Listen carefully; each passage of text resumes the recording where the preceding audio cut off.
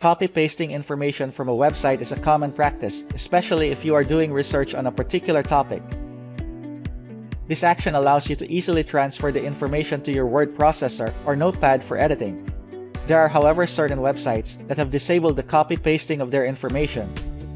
In this latest installment of our troubleshooting series, we will show you how to copy-paste on websites that don't allow it. Disable JavaScript in Google Chrome. Here's how you can disable JavaScript when using Google Chrome. Click on the More buttons. This is the three vertical dots on the upper right side of the browser. Click on Settings. This is the third option from the bottoms. Click on Privacy and Security. This can be found in the left pane.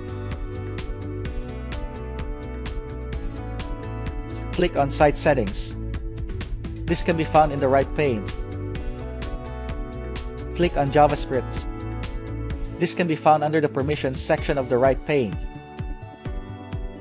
Turn off the switch so that it will stay blocked. This will disable JavaScript.